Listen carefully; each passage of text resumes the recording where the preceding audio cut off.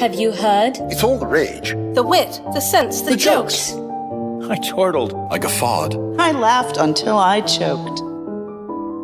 Put down your cell phone, turn off the Xbox, just for a short while, and join us for something your great grandmother might have laughed at, or perhaps blushed at, hmm? From famous authors to long lost gems, Edwardian Entertainments explores the short stories of a past century, wherever they may be found. Tonight's story is Luella Miller by Mary E. Wilkins Freeman, performed and mastered by Julie Hoverson.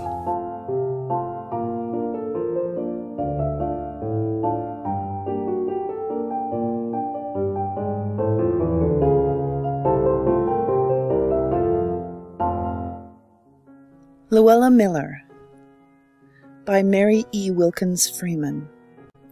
As first published in Everybody's Magazine in December 1902. Close to the village street stood the one story house in which Luella Miller, who had an evil name in the village, had dwelt. She had been dead for years, yet there were those in the village who, in spite of the clearer light which comes on a vantage point from a long past danger, half believed in the tale which they had heard from their childhood.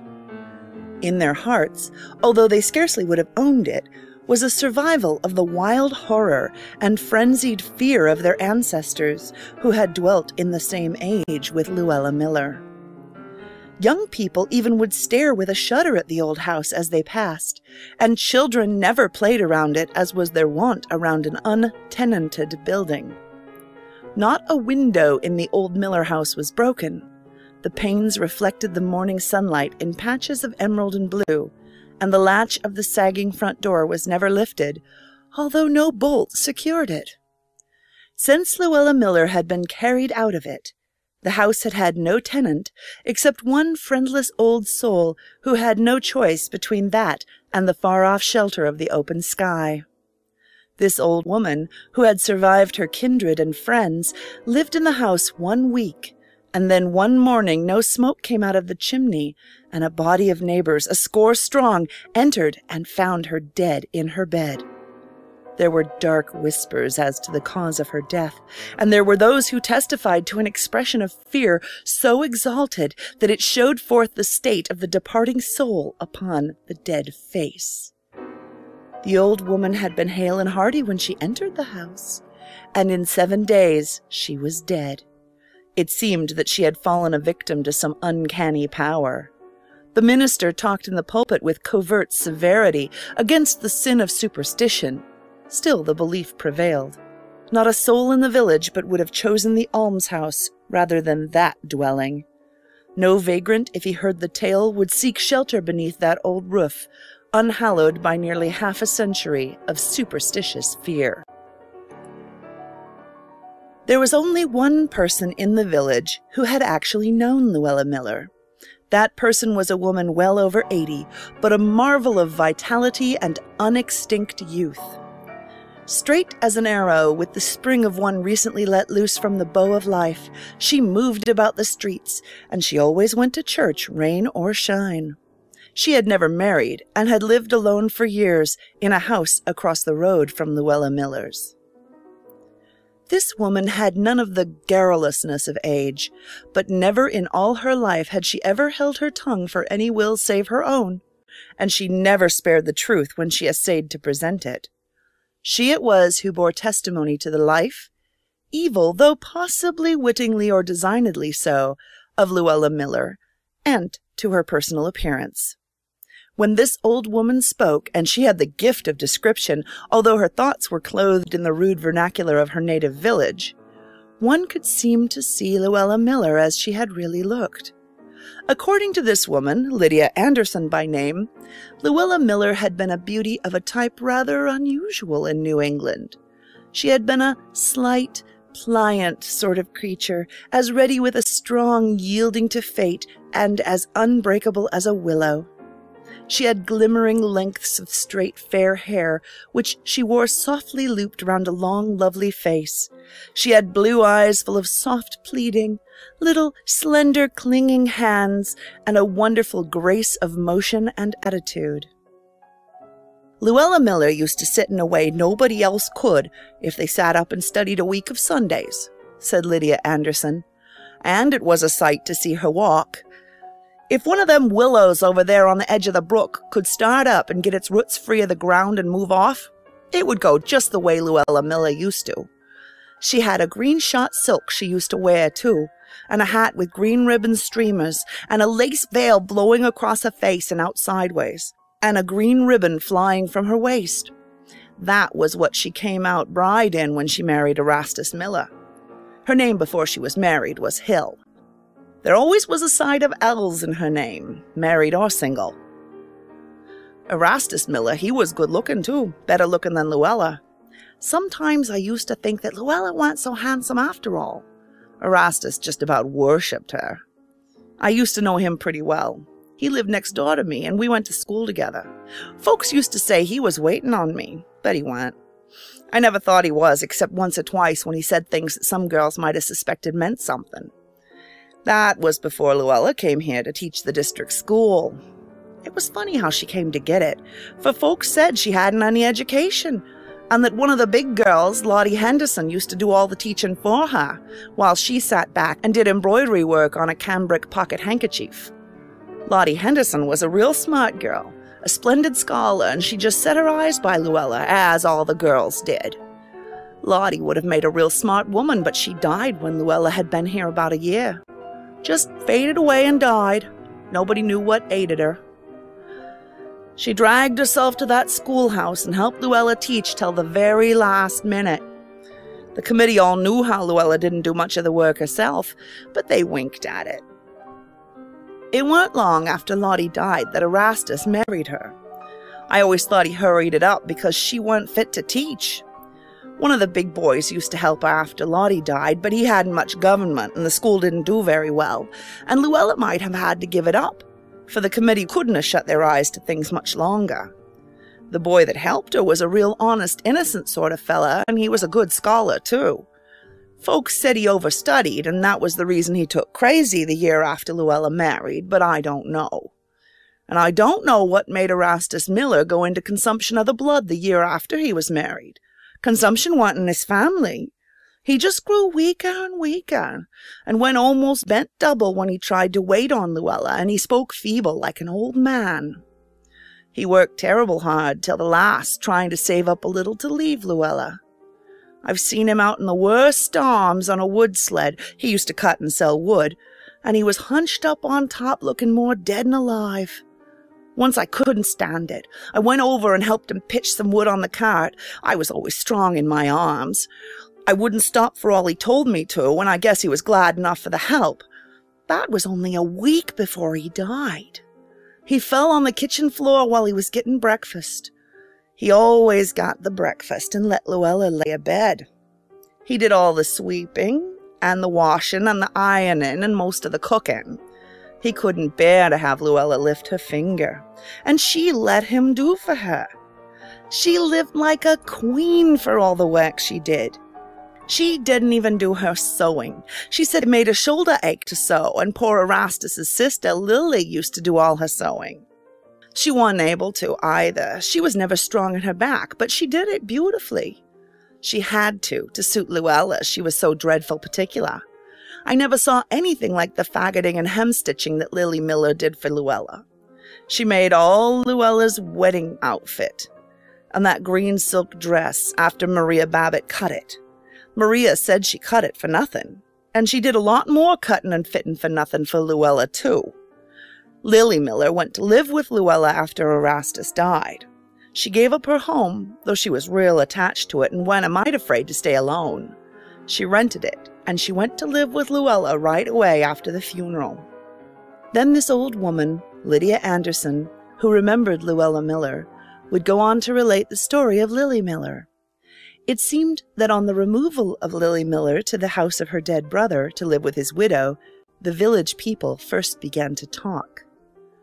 This Lily Miller had been hardly past her first youth, and a most robust and blooming woman, rosy cheeked with curls of strong black hair overshadowing round, candid temples and bright dark eyes. It was not six months after she had taken up her residence with her sister in law that her rosy color faded and her pretty curves became wan hollows.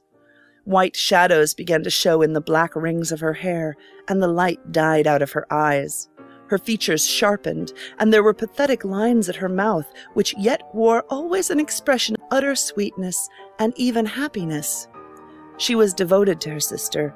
There was no doubt that she loved her with her whole heart, and was perfectly content in her service. It was her sole anxiety lest she should die and leave her alone. The way Lily Miller used to talk about Luella was enough to make you mad and enough to make you cry, said Lydia Anderson. I've been in there sometimes toward the last, when she was too feeble to cook and carried her some blancmange or custard or something I thought she might relish, and she'd thank me, and when I asked her how she was, say she felt better than she did yesterday, and asked me if I didn't think she looked better. Dreadful pitiful and say poor Luella had an awful time taking care of her and doing the work. She weren't strong enough to do anything. When all the time Luella weren't lifting her finger, and poor Lily didn't get any care except what the neighbors gave her. And Luella eat up everything that was carried in for Lily. I had it real straight that she did. Luella used to just sit and cry and do nothing. She did act real fond of Lily, and she pined away considerable, too. There was those that thought she'd go into a decline herself. But after Lily died, her aunt, Abby Mixter, come, and then Luella picked up and grew as fat and rosy as ever. But poor Aunt Abby began to droop just the way Lily had, and I guess somebody wrote to her married daughter, Mrs. Sam Abbott, who lived in Barre, for she wrote her mother that she must leave right away and come make her a visit. But Aunt Abby wouldn't go. I can see her now. She was a real good looking woman, tall and large, with a big square face and a high forehead that looked of itself kind of benevolent and good. She just tended out on Luella as if she had been a baby, and when her married daughter sent for her, she wouldn't stir one inch. She'd always thought a lot of her daughter, too, but she said Luella needed her, and her married daughter didn't. Her daughter kept writing and writing, but it didn't do any good. Finally, she came, and when she saw how bad her mother looked, she broke down and cried, and all but went on her knees to have her come away. She spoke her mind out to Luella, too. She told her that she'd killed her husband and everybody that had anything to do with her, and she'd thank her to leave her mother alone. Luella went into hysterics, and Aunt Abby was so frightened that she called me after her daughter went. Mrs. Sam Abbott said she went away fairly crying out loud in the buggy. The neighbors heard her, and well she might, for she never saw her mother again alive. I went in that night when Aunt Abby called for me, standing in the door with her little green checked shawl over her head. I can see her now. Do come over here, Miss Anderson, she sung out, kind of gasping for breath. I didn't stop for anything. I put over as fast as I could, and when I got there, there was Luella laughing and crying all together, and Aunt Abby trying to hush her, and all the time she was herself as white as a sheet and shaking so she could hardly stand. For the land's sakes, Mrs. Mixter, says I, you look worse than she does. You ain't fit to be up out of your bed. Oh, there ain't anything the matter with me, says she. Then she went on talking to Luella. There, there, don't, don't, poor little lamb, says she. Aunt Abby is here. She ain't going away and leave you. Don't, poor little lamb. Do leave her with me, Mrs. Mixter, and you get back to bed, says I, for Aunt Abby had been laying down considerable lately, though somehow she contrived to do the work. I'm well enough, says she. Don't you think she had better have the doctor, Miss Anderson? The doctor, says I. I think you better have the doctor. I think you need him much worse than some folks I could mention. And I looked right straight at Luella Miller, laughing and crying and going on as if she was the center of all creation. All the time she was acting so, seemed as if she was too sick to sense anything. She was keeping a sharp lookout as to how we took it out of the corner of one eye. I see her. You could never cheat me about Luella Miller. Finally, I got real mad and I ran home and got a bottle of valerian I had. And I poured some boiling hot water on a handful of catnip, and I mixed up that catnip tea with most half a wine glass of valerian, and I went over with it to Luella's. I marched right up to Luella, holding out that cup all smoking. Now, says I, Luella Miller, you swallow this. What is, what is it? Oh, what is it? She sort of screeches out. Then she goes off a laughing enough to kill. Poor lamb, poor little lamb, says Aunt Abby, standing over her, all kind of tottery, and trying to bathe her head with camphor. You swallow this right down, says I.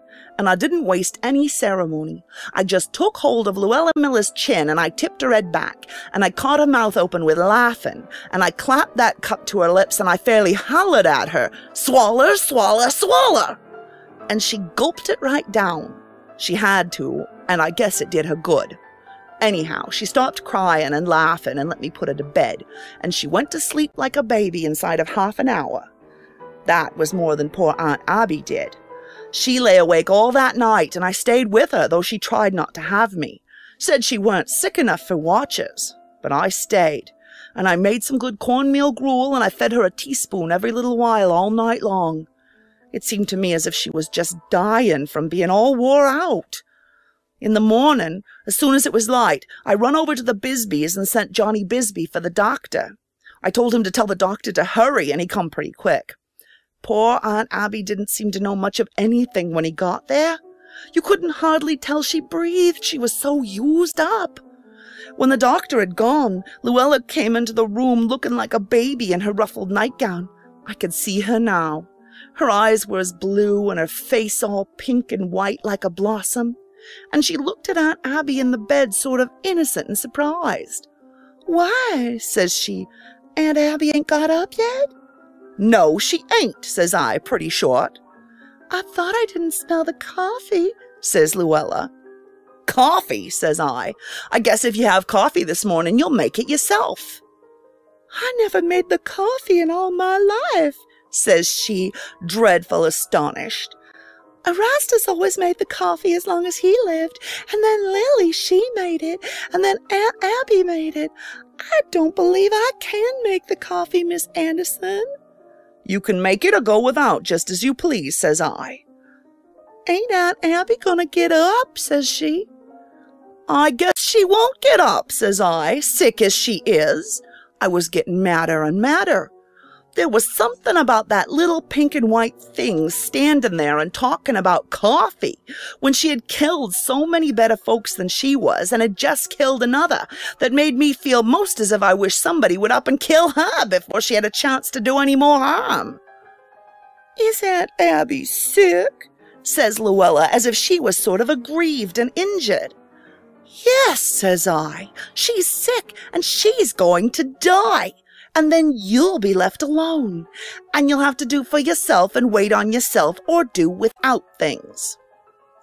I don't know, but I was sort of hard, but it was the truth, and if I was any harder than Luella Miller had been, I'll give up. I ain't never been sorry that I said it. Well, Luella, she up and had hysterics again at that, and I just let her have 'em. All I did was to bundle her into the room on the other side of the entry, where Aunt Abby couldn't hear her, if she went past it, I don't know but what she was, and set her down hard on a chair and told her not to come back into the other room, and she minded. She had her hysterics in there till she got tired. When she found out that nobody was coming to coddle her and do for her, she stopped. At least I suppose she did. I had all I could do with poor Aunt Abby trying to keep the breath of life in her. The doctor had told me that she was dreadful low, and gave me some very strong medicine to give her in drops real often, and told me real particular about the nourishment. Well, I did as he told me, real faithful till she wasn't able to swallow any longer. Then I had her daughter sent for. I'd begun to realize that she wouldn't last any time at all. I hadn't realized it before, though I spoke to Luella the way I did. The doctor, he came, and Mrs. Sam Abbott, but when she got there, it was too late. Her mother was dead. Aunt Abby's daughter just gave one look at her mother laying there. Then she turned sort of sharp and sudden and looked at me. Where is she? says she, and I knew she meant Luella.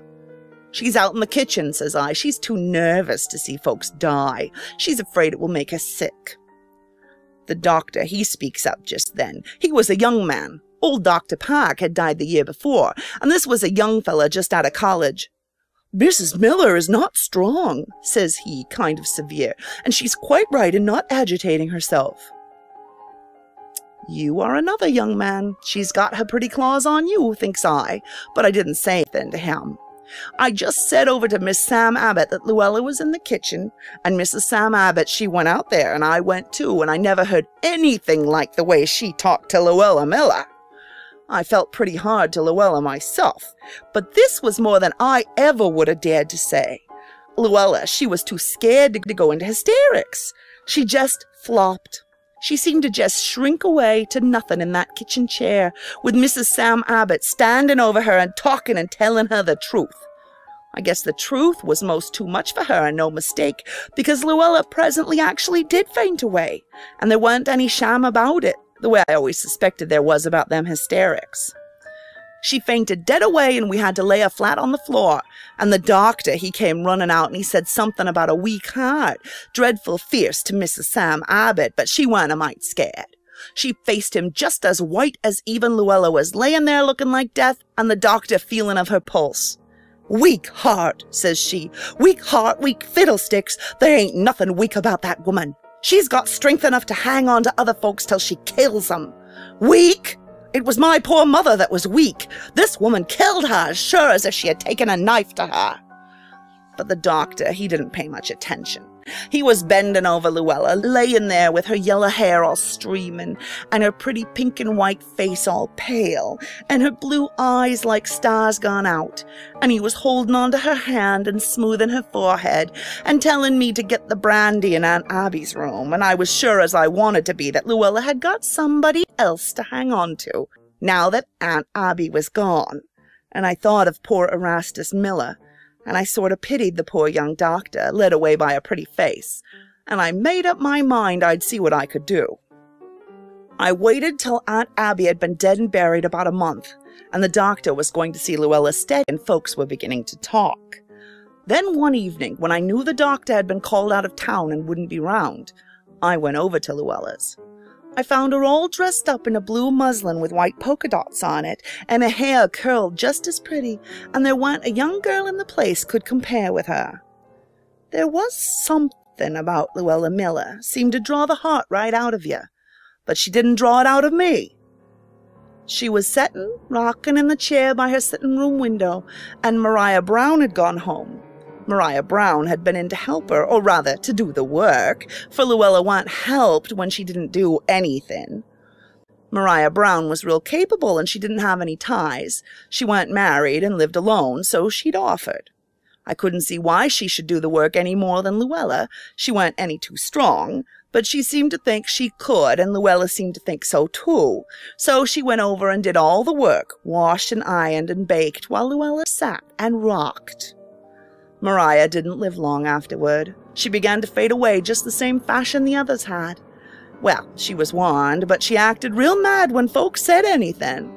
Said Luella was a poor, abused woman too delicate to help herself, and they ought to be ashamed. And if she died helping them that couldn't help themselves, she would. And she did. I suppose Maria's gone home, says I to Luella when I'd gone in and sat down opposite her. Yes, Maria went half an hour ago after she'd got supper and washed the dishes, says Luella in her pretty way. I suppose she's got a lot of work to do in her own house tonight, says I, kind of bitter, but that was all thrown away on Luella Miller. It seemed to her right that other folks that weren't any better able than she was herself should wait on her, and she couldn't get it through her head that anybody should think it weren't right. Yes, says Luella, real sweet and pretty. Yes, she said she had to do her washing tonight. She's let go of it for a fortnight along of coming over here. Why don't she stay home and do her washing instead of coming over here and doing your work when you are just as well able, and enough sight more so than she is to do it, says I. Then Luella, she looked at me like a baby who has a rattle shook at it. She sort of laughed as innocent as you please.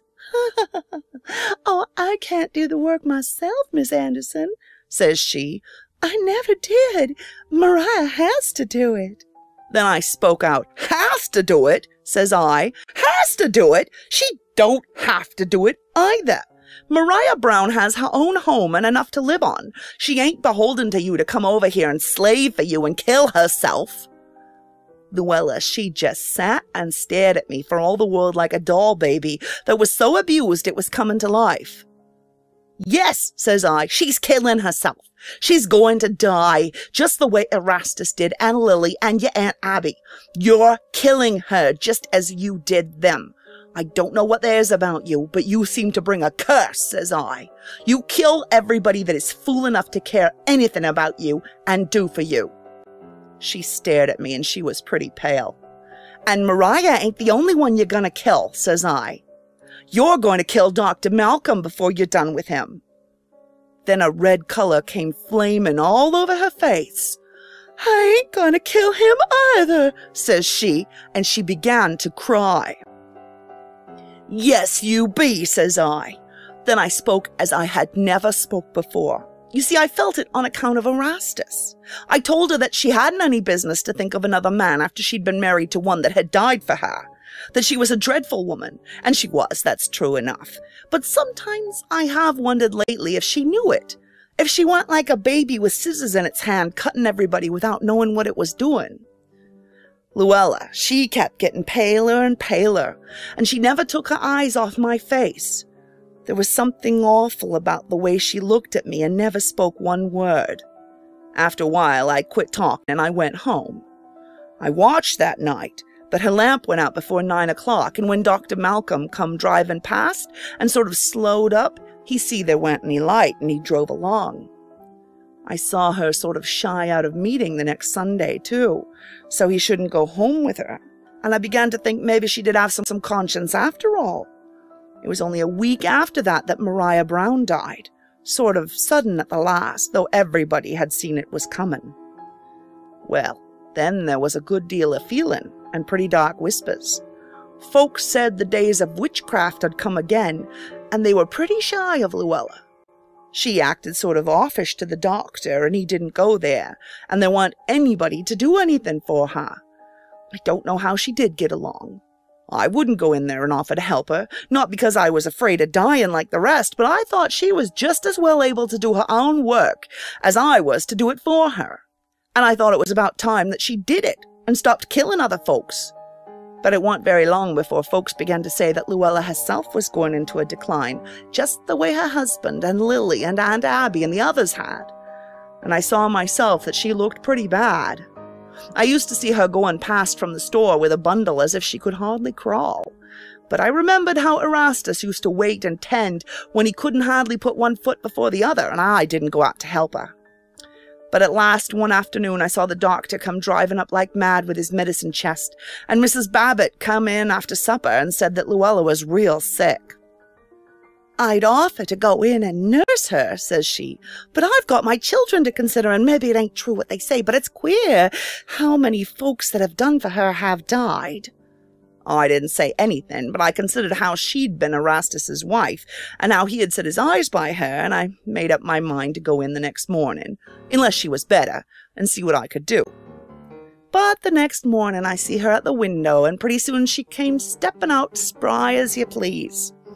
And a little while afterwards, Mrs. Babbitt came in and told me that the doctor had got a girl from out of town, a Sarah Jones, to come there, and she said she was pretty sure that the doctor was going to marry Luella. I saw him kiss her in the door that night myself, and I knew it was true. The woman came that afternoon, and the way she flew around was a caution. I don't believe Luella had swept since Mariah died. She swept and dusted and washed and ironed. Wet clothes and dusters and carpets were flying over there all day. And every time Luella set her foot out when the doctor went there, there was that Sarah Jones helping of her up and down the steps as if she hadn't learned to walk. Well, Everybody knew that Luella and the doctor were going to be married, but it wasn't long before they began to talk about his looking so poorly, just as they had about the others. And they talked about Sarah Jones, too. Well, the doctor did die, and he wanted to be married first so as to leave what little he had to Luella. But he died before the minister could get there, and Sarah Jones died a week afterward. Well, that wound up everything for Luella Miller. Not another soul in the whole town would lift a finger for her. There got to be a sort of panic. Then she began to droop in good earnest. She used to have to go to the store herself, for Mrs. Babbitt was afraid to let Tommy go for her, and I've seen her going past and stopping every two, three steps to rest. Well, I stood it as long as I could, but one day I see her coming with her arms full and stopping to lean against the Babbitt fence, and I run out and took her bundles and carried them to a house. Then I went home and never spoke one word to her, though she called after me, dreadful, kind of pitiful. Well, that night I was taken sick with a chill, and I was so sick as I wanted to be for two weeks. Mrs. Babbitt had seen me run out to help Luella, and she came in and told me I was going to die on account of it. I didn't know whether I was or not, but I considered I had done right by Erastus's wife. That last two weeks, Luella, she had a dreadful hard time, I guess. She was pretty sick, and as near as I could make out, nobody dared to go near her.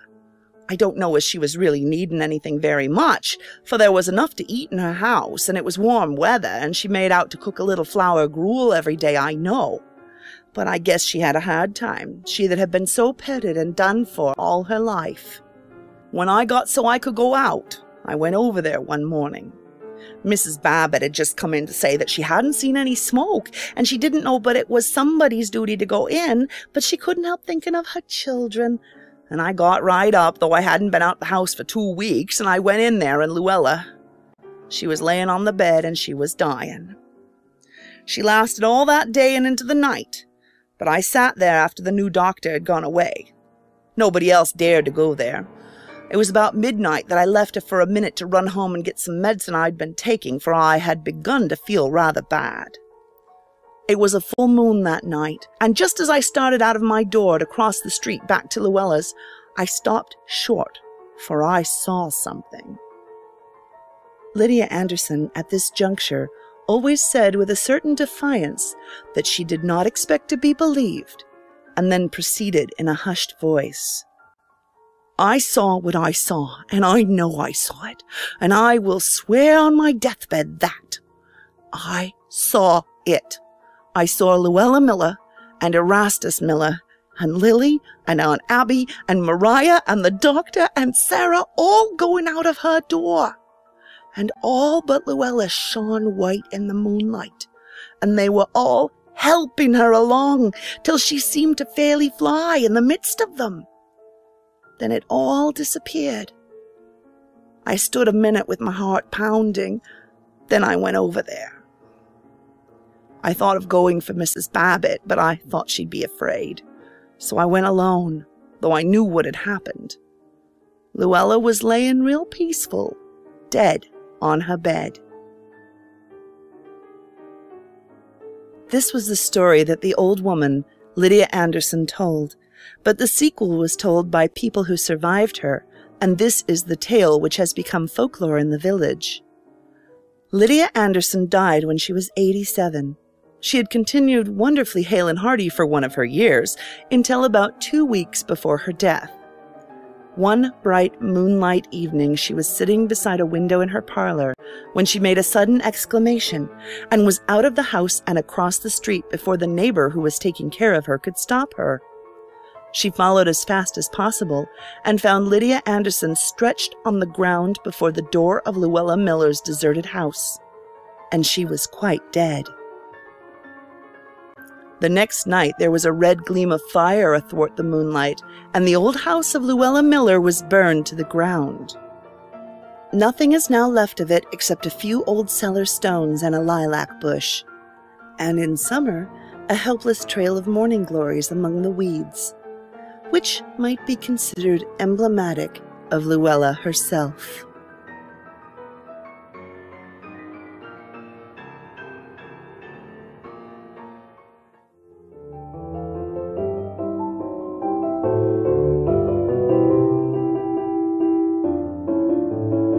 Once again, we must sign off. to go our separate ways.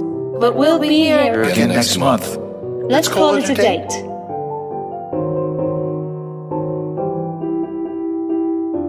Today's story, Luella Miller, was written by Mary E. Wilkins Freeman and published in Everybody's Magazine in December 1902. This performance was done by Julie Hoverson, sound and mastering by Julie Hoverson. The music was from amclassical.com. The opening and closing credits used the music of The Entertainer by Scott Joplin, available through amclassical.com, and the opening voices included Glenn Hallstrom, Tanya Milayevich, Gwendolyn Jensen Woodard, Lothar Tuppen, Julie Hoverson, and Carrie Ayers. Russell Gold was the announcer. This is distributed under the Creative Commons Attribution Share Alike Non Commercial Clauses. Feel free to pass it around, but don't try to make money on it. This is copyright 2011 to Julie Hoverson and Reality Productions.